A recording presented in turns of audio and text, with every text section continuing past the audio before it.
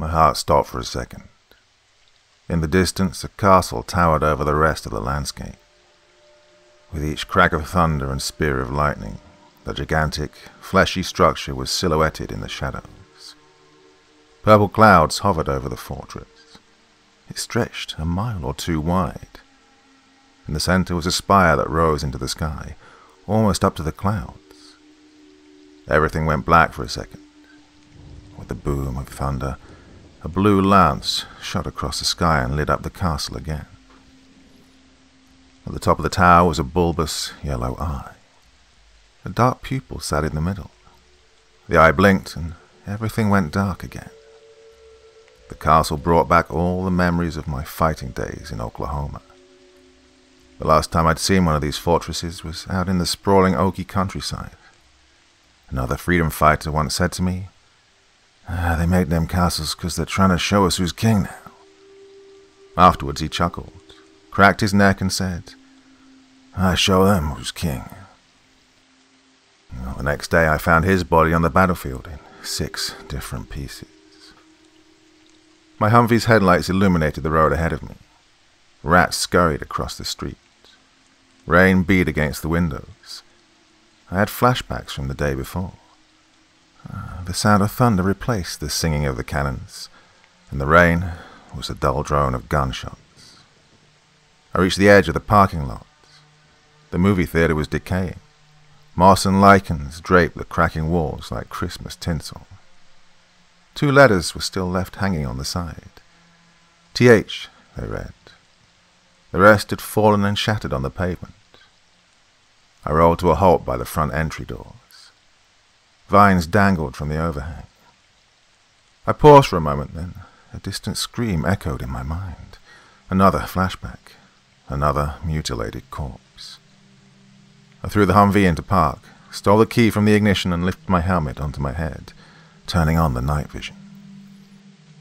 I stepped out of the Humvee, the world shaded green by night vision.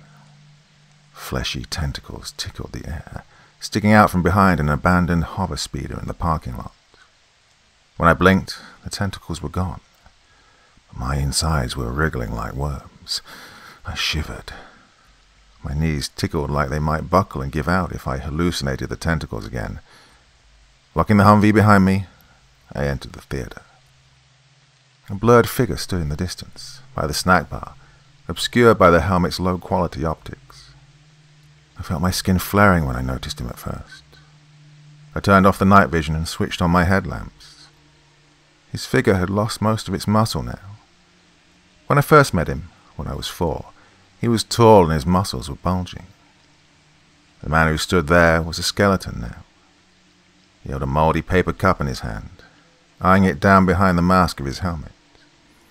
Maybe cut the lights, he whispered, his voice echoing across the theater. Oh, right, I said. Sorry. I heard his footsteps as he approached me, reaching out a hand to shake mine. I gripped it and shook, looking into the mask that covered his face. Its appearance was distorted through the night vision, but I could see markings and paintings over his suit of armor.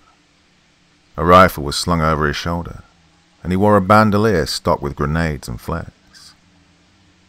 It's been a long time, I grinned. Only been four years, he shrugged, snickering. How's that drink? I asked. He scoffed. Still good. He chucked the cup behind him. It splashed as it landed on the carpet. Maybe keep it down, I joked. Ah, piss off he mumbled. Christ, how I've missed you. How have you been? Oh, I've been good. At least I'm doing better than how we did in our Oklahoma days. How have you been? Oh, Jesus, don't remind me about Oklahoma. Fucking massacre. How do you expect me to be doing? We're at war. He patted me on the shoulder then. I threw my arm around his neck and we began to walk towards the snack counter. Well, I see you're still the same man. At least in your head. Where'd all your muscles go? Oh, I've lost it.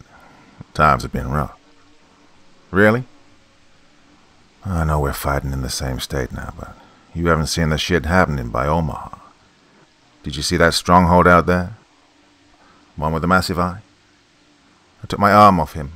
He jumped over the counter, as did I. Yeah, the one with the frickin' eye. You know how many attack runs we've done on that thing? Not sure I want to know. You're scaring me just talking about it. We've done 23. 23 fucking raids. My jaw dropped, and I spun around to look at him. You can't be serious. I mean, we only did five on that one in Oklahoma. Yeah, that's what I told my commander, he exclaimed, shaking his head.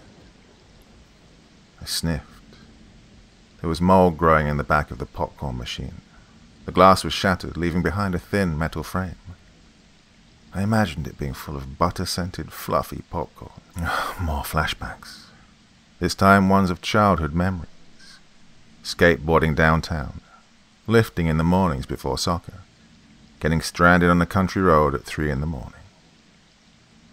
Remember that time we got kicked out of a movie theater with Martin and Xander? I asked. He turned to me. I tried to imagine what he looked like beneath the helmet's mask. I hope there was a smile underneath that. Is that, um, oh, was that the time when you launched a bowlful across the theater and then you and Xander started fighting with it? And then came the usher. Ah, oh, you goddamn idiots, he sneered. Oh, let's hear about all the bright ideas you've had then. Not getting kicked out.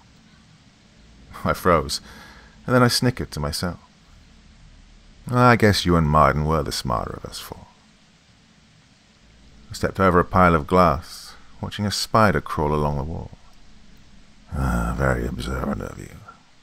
I'm a very observant person, I said. The spider trundled towards a drink dispenser. Just as I've observed this drink machine. I pointed at it. Fascinating, would you not agree, my acquaintance? He coughed and shook his head. Like I said, you and Xander, goddamn idiots. Observe, comrade, I said, reaching out a hand. I pressed the black plastic lever that extended down from one of the soda dispensers. The lever snapped as a dollop of frigid slush splashed out of the machine. It coated my leather glove in muck. I cursed, tore my hand away, and shook off the goop. He chuckled for a moment, his arms crossed, leaning against the countertop. There was a spider making its way across the front of his helmet. There's a spider. I know, he said, smacking it and then shaking his gloved hand. Listen, man, I've got a lot to tell you and it's not exactly good news. Yeah? I asked. He nodded his head. Oh, I'd love to stay here and talk for a while. I'd probably die for it, to be honest, but you and I have both got duties.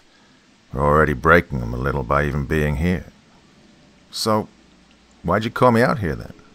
Just to see me for a bit, or what? He shook his head. I chewed on the inside of my cheek, listening as the rain came down harder.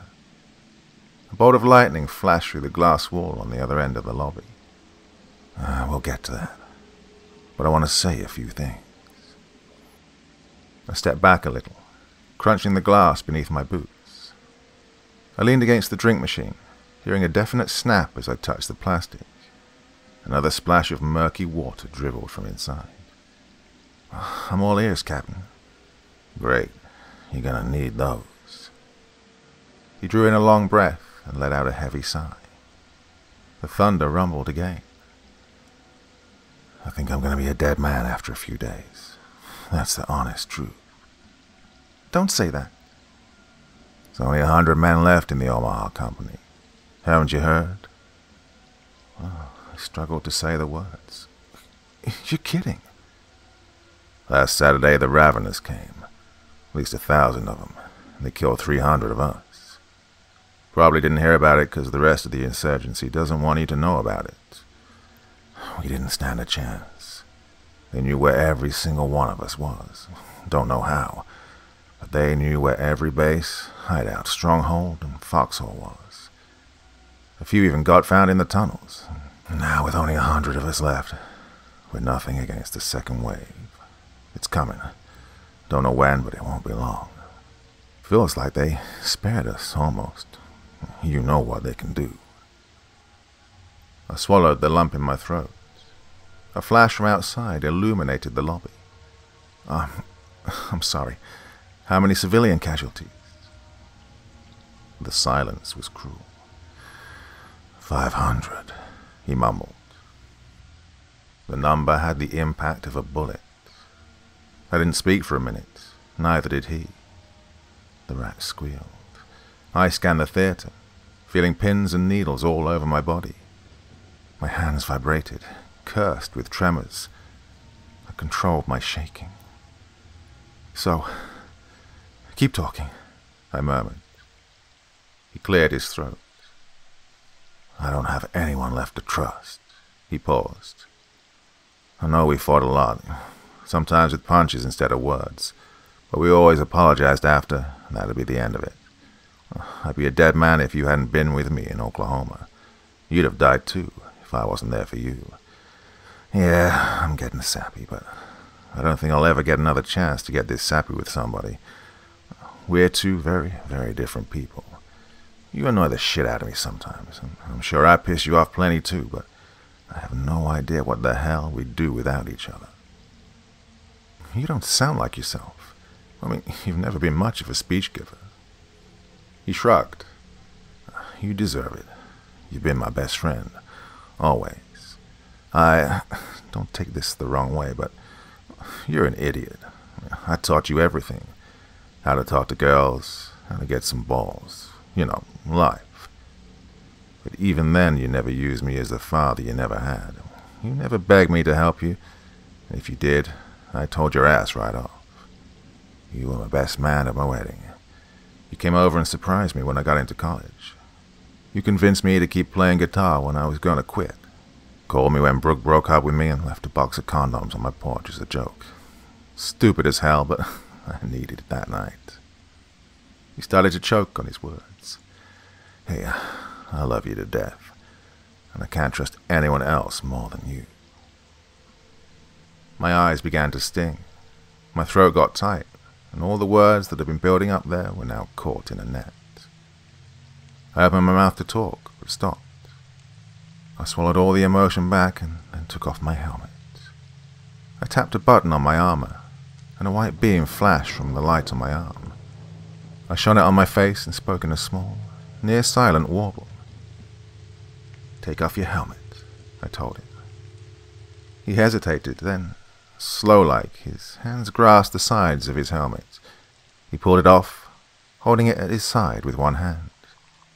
With the other, he lit up his face. His eyes were sunken. Purple bags formed under them. His sandy blond hair was unruly, a wet mop. Streaks of mud coated his chin and jawline. Oh, my friend looked like King Odysseus must have after coming home to Ithaca. He had that lost at sea look about him. Now the squirming feeling in my chest was replaced with a frigid, aching sensation. I don't want you to die, I chirped, my voice disappearing. His eyes started to get puffy and red. Don't you fucking cry on me now. If you've ever learned anything from me, it's that you don't need to cry about everything. Now, like I was trying to say, there wasn't ever another man on this planet that I trusted more than you, and if there was, they're probably dead now. Not a lot left. But I know what remains. I stared at him, my lower lip twitching. My face began to get hot. I felt my skin turn cherry red. Hope. I chuckled. the years have changed you after all. No, it's not supposed to sound cliche. My daughter, Hope, he said matter of factly. Another mental bullet. I started to frown. What do you mean? I asked. A smirk appeared on his face. He scratched the back of his hand and took a few steps forward towards me. He put a hand on my shoulder, and I looked into his small, hazel eyes. If I'm gonna die, I'm not taking hope with me, he said. And this was the third bullet. I stammered as I tried to find the right words. I, I can't take care of her. She's, she's your daughter. My voice began to trail. He shook his head. What's the mission of insurgency? he asked. I looked into his eyes again, and the answer came to me. To fight the ravenous, I whispered. Now, think about it. I did. Blue light shrouded us as a fork of electricity blasted across the Nebraska sky. I've done you a thousand favors over the years, and you paid me back by fighting at my side and saving my life a few times. But this, this is more than that. This is my everything. My lips flipped between frowns and smiles. I thought all of my organs were shriveling up and decaying as we spoke, and now I placed a hand on his shoulder. I'll take good care of her. Norfolk's safe, at least it will be for a while. He raised his arm, covering his cough. Perfect. There was another long silence now, filled only by the sounds of scampering animals and ambience of the storm. I love you to death, I said. I love you too, dumbass. He leaned in closer, wrapping his arms around me in an embrace. I held it for a while. We stood there, two grown-ass men hugging in an abandoned movie theater for at least 30 seconds. He let go first. He started by putting his helmet back on and then turning off his lights. I followed suit. What remains is hope, I reminded him. He scoffed. Idiot. That's more like it. Let's go pick her up. I got some squad mates watching her. She's not far from here. As soon as you get her, you'll speed till you're out of the city. Or at least until you're far enough away from the city that you can't see that fucking eye. Uh, that motherfucking eye, I joked. He reached out his hand and I shook it once more. His grip had lost some of its strength. He now appeared even smaller than he already had at first. His hunched corpse stood before me, still armed and dressed in his battle armor to fight the ravenous and protect the people, I thought. Right. He started to walk out of the theater. Now you tell your commanding officers you found Hope by accident. I want you to take us somewhere in northwestern Nebraska if shit gets heated in Norfolk. Done my research. That's about the safest place. That's the Badlands. Less food. And less of the ravenous. I don't care. I paused, you got it, boss. Yeah, I know you want your rations too, but don't forget to feed her. I'm listening. He shot me a look. And I got something big to ask of you. I frowned. Our walking slowed to a momentary halt. Yeah? If it uh, comes down to it, you'll die for her, right? I winced. I tried to breathe as we started to walk again. Someone's got to look after her, I mumbled. We pushed our way out of the glass doors, walked out from underneath the overhang into the gushing rain. It was coming down heavier now. The earthy scent of mud and fresh rainfall filled the air. Lightning lit up the sky, revealing the castle in the distance. I stared into its bulging eye. I wondered if it could see us. I Wondered if that's how they'd found all the freedom fighters. The Humvee unlocked as I pressed the button on the key and clambered into the driver's seat. I pushed the key into the ignition and turned, the engine roaring to life. The windshield wipers started up, waving the sheets of water off the glass. I removed my helmet and fastened my seatbelt. My friend settled in, stretching and scratching his chin. Well, I guess we do have some time to talk now, I mentioned. He stared at me for a moment, a coy smile tugging at the edges of his lips. Ah, just shut up and drive.